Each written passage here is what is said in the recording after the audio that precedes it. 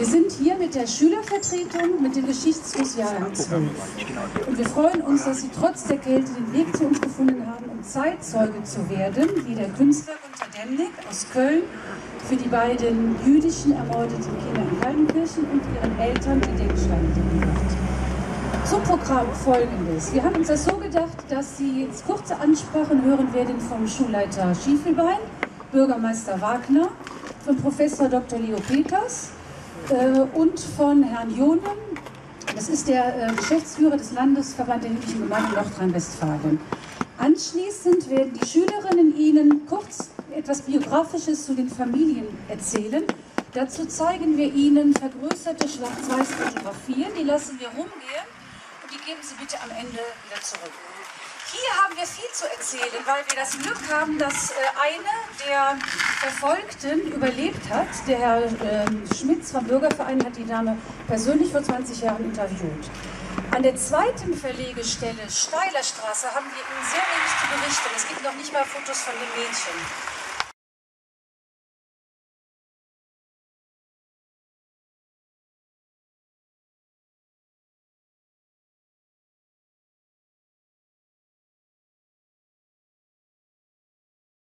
Liebe anwesenden Gäste, Vertreter der Stadt Nettetal und vor allen Dingen auch liebe Schülerinnen und Schüler und natürlich last but not least lieber Herr Demnig.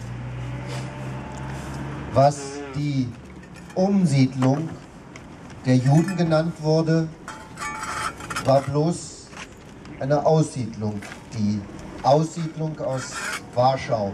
Sie hatte nur ein Ziel.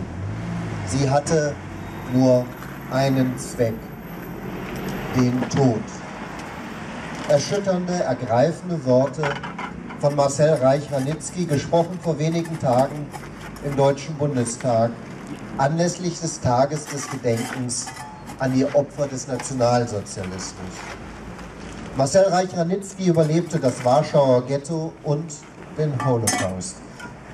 Viele Millionen Menschen, vor allem Mitbürgerinnen und Mitbürger jüdischen Glaubens, wurden damals umgesiedelt, wurden ausgesiedelt und kehrten nie heim. So auch Hedwig und Max Lyon, Ruth Lina und Simon Harf. Elisabeth Lyon überlebte die Deportation nach Riga.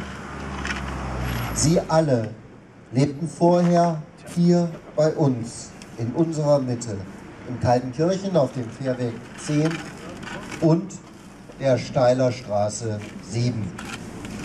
Nachdem auf Initiative von Vera Gebler im November 2010 bereits in Breil Stolpersteine für Nettetaler Juden verlegt wurden, wollen wir heute auch hier im Stadtteil Stolpersteine des Künstlers Gunther nämlich für die Familien Leon und Harf verlegen.